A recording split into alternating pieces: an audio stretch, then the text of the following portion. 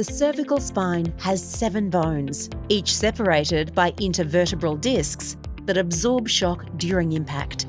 Together, the spinal bones, muscles, tendons, and ligaments within the neck support the weight of the head and protect the spinal cord. Neck injuries can range from mild to very serious.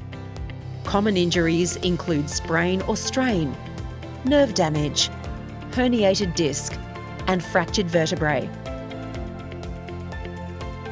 Head and neck trauma can cause acute injuries, while repetitive strain can lead to chronic degenerative conditions.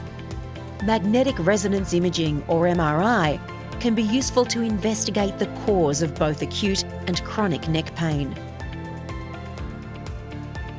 It uses strong magnetic fields to produce high resolution images that can identify infections, cancer in or near the spine, abnormal curvature of the spine, known as scoliosis, and more.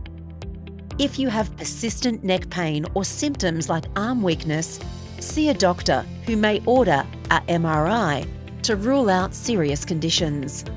As Australia's largest imaging provider, I-MED Radiology impacts millions of lives each year. With the largest network of subspecialty radiologists, the right expertise is available when it is needed for consistent, high quality care.